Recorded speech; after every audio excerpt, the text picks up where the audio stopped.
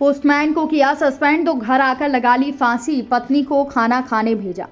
शिवपुरी के कोतवाली थाना क्षेत्र से खबर आ रही है, यहाँ पर पोस्ट विभाग में पोस्टमैन के पद पर कार्यरत कर्मचारी ने फांसी लगाकर आत्महत्या कर ली।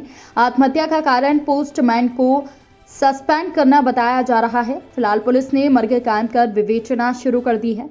जानकारी के अनुसार मृगेंद्र पुत्र विजेश सक्सेना निवासी हाथीखाना पोस्ट ऑफ़िस में पोस्टमैन के पद पर कार्यरत हैं। बुधवार को मृगेंद्र को सस्पेंड कर दिया।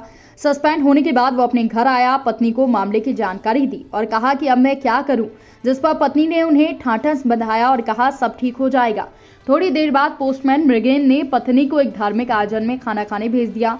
करीब एक घंटे बाद पत्नी लौट कर आई तो देखा कि मृगेंद्र का शव फांसी पर लटका है। ये देखकर वो घबराकर गई और रोने लगी और इसके साथ आवाज़ सुनकर मोहल्ले वासी भी आए। मृतक के भाई को फ़ोन लगाया, जहाँ पर वो मौके पर पहुँचा और पुलिस को सूचना दी गई। आपको बता दें कि सूचना पर पुलिस मौके पर पहुँची। घटनास्थल का मौका मुआयना कर लाश को फंदे से उतरवाया और पोस्टमार्टम के लिए भेजा। फ़िलहाल मामले में पुलिस ने मर्ग कायम कर जाँच शुरू कर दी है।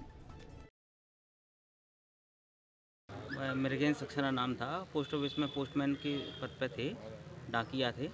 और मेरी भाभी का रात में फ़ोन आया मेरे पास दस बजे के आसपास कि उनने फांसी लगा ली है। तो मैं एकदम जल्दी से दौड़ के गया। मैंने पूछा, क्या कारण रहा? तो कह रहे मेरे को सस्पेंड कर दिया है। तो मैं क्या करूँ? तो भाभी कहीं भंडारे में खाना खाने गई हुई थी। तो उनने बताया तो जब लौटी तो फांसी पे थे। जैसे ही हम पहुँचे तो लगभग एक घंटा वो खाना खाने के आसपास उनका वो रहा टाइम तो जैसे ही हम लोग पहुँचे तो हम लोग जैसे ही डिस्ट्रिक्ट हॉस्पिटल लेके आए तो डॉक्टरों ने इनको मृत घोषित कर दिया। जी आपने जैसे बताया कि वो सस्पेंड थे तो क्या सस्पेंशन के साथ कारण कुछ परेशान हाँ वो बहुत था वो उसी दिन सस्पेंड किया था तो घर पे आके उन्होंने अपने भाभी को बताया कि मैं बहुत डिप्रेशन में हूँ तनाव में हूँ क्योंकि मुझे सस्पेंड कर दिया गया है तो मैं क्या करूँगा आगे?